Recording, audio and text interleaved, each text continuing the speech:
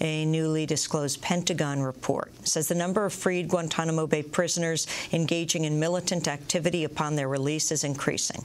According to the Pentagon, one in five Guantanamo prisoners has returned to fight, up from one in seven reported last April. As with prior claims, the Pentagon report offers few details and prevents independent verification.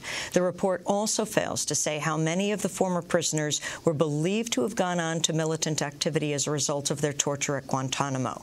The most deadly act by a former Guantanamo prisoner was carried out by Kuwaiti national Abdallah al-Ajmi, who killed 13 people in Iraq in 2008.